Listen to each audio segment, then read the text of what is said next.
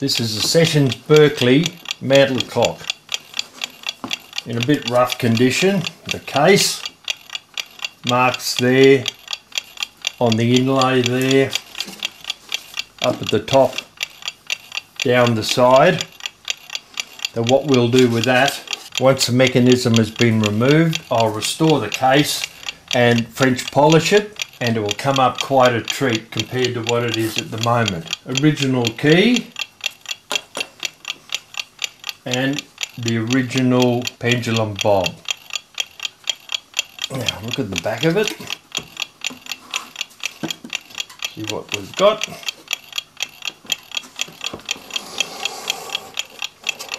It's a movement. You'll notice one of the springs is unwound. I tried to wind it before, but it wouldn't wind up. The going side is, but the strike side isn't wound.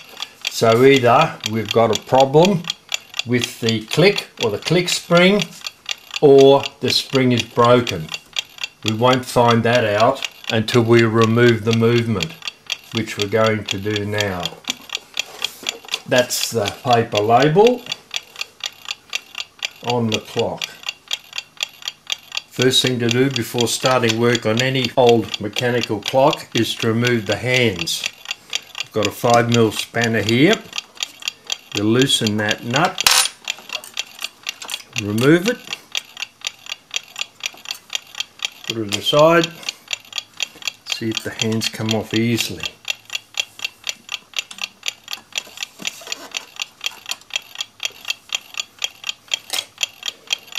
Now, a couple of fingernails under the hour hand, it's a bit tight.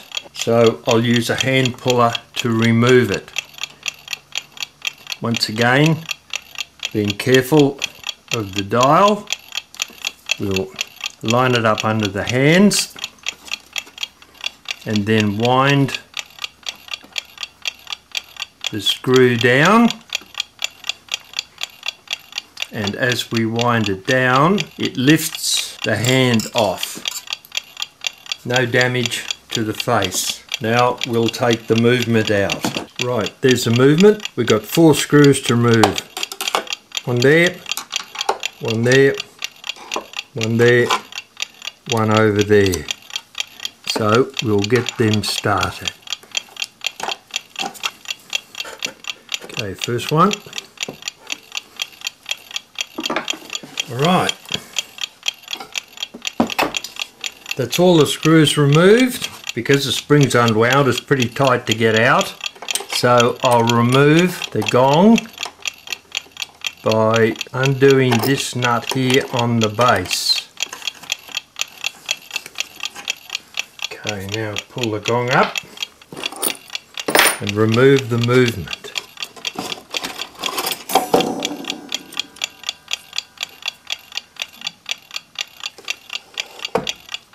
There's the movement out of the case. Right, we'll look at that in a moment. See what's happening. Collect all the screws, put them aside.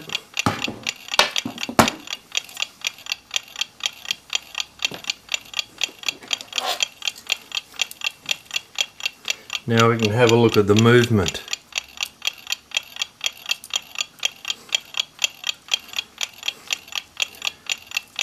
Spring seems to be in one piece, not broken. So it means we've got to look at the front and I was right, we've got no click, we've got no click spring. You can see it's missing down in there.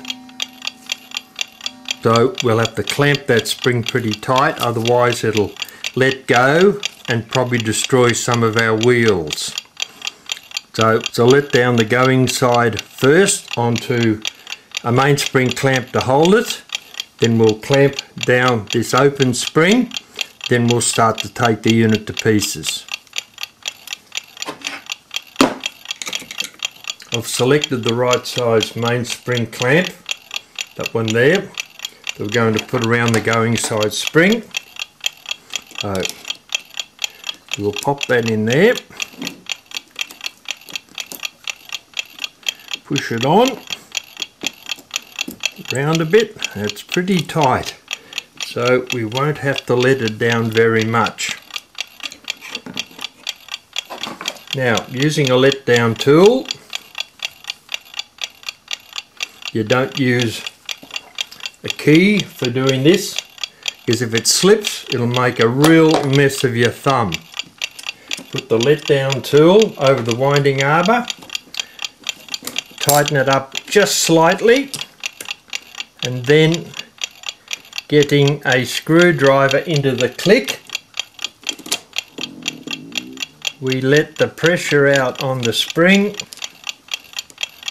Hold the click back and slowly let the pressure out of the spring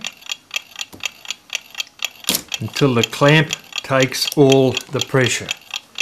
There it is that spring is now safe to remove another problem suspension spring broken just hanging on there so we'll replace that. We'll keep this spring for measurement so we know where to start off and putting another spring in. Now we'll clamp down this other spring.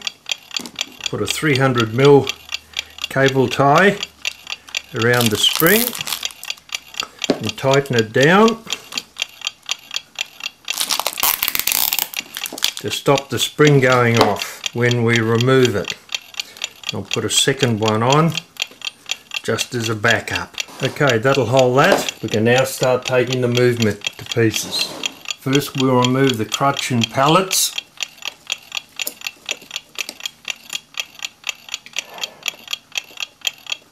We'll put them in our tray the going side parts. That's our fast slow regulator. We'll pull that out. And then we'll loosen these five nuts. Right, we'll loosen off the nuts.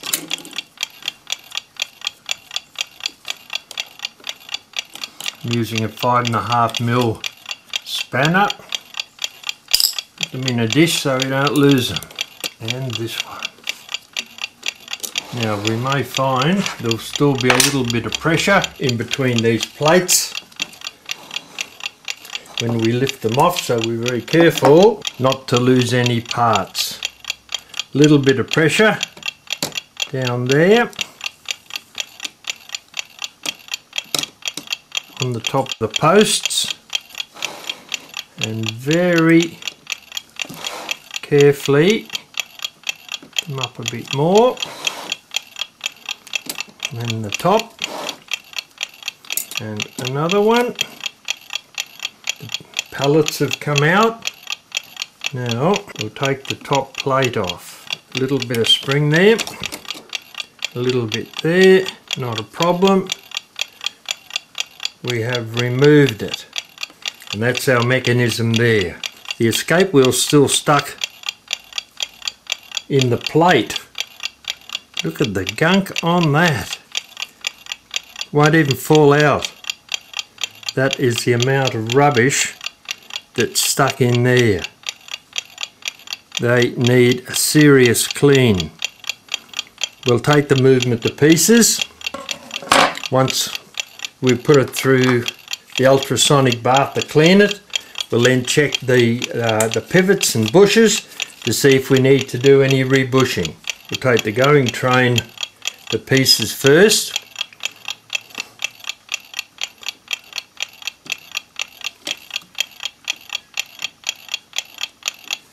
Third wheel.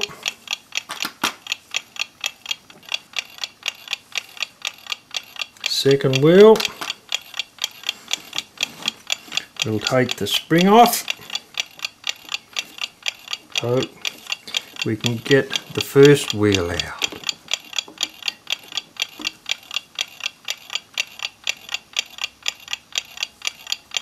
first wheel remove the spring now.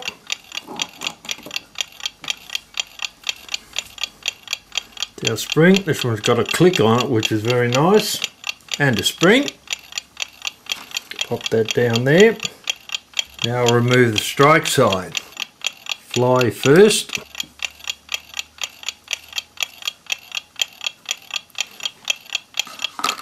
To undo these wires. We'll have to undo these springs. So we can take the levers out. Second one, remove the J-hook first, which is that piece there. So named for that lever. Goes into the strike side. Take the third wheel out. Then we'll remove the lift lever. That lever there sits in the cam. That lever there arrests that post there on the warning wheel. This is the count lever. We'll have a look at that and that is a bit rough on the end. We'll actually clean that up with a file before we put it back in again. Take that out and then take that out. As you can see there's no click and no click spring. We've got spares of those so we'll replace them before we put them back in again after we've cleaned and greased the spring. Now second wheel comes out easily. That's the cam wheel. First wheel. Very, very dirty. All the lantern pinions have got gunk on them. Solid oil. Now we'll take out the hammer. And then these two pieces. Like so. And that guy which sits in there. That's called a motion works. That's a cannon arbor where the hour hand sits held by friction on there. That smaller arbor in there is the minute hand arbor. You can see it's square on two sides. The hand sits over that and turns. Finally, we'll remove the count wheel, this wheel here, by removing the clutch on it. A little bit of a move to the side, unlocks that.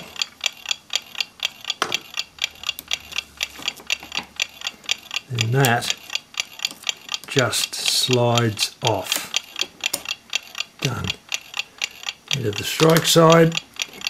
And that's the count wheel.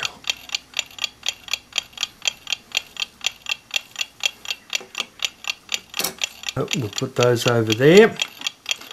Now we'll undo the springs and clean them and grease them so that we can then put all the brass parts, the wheels, etc. into the ultrasonic and clean them.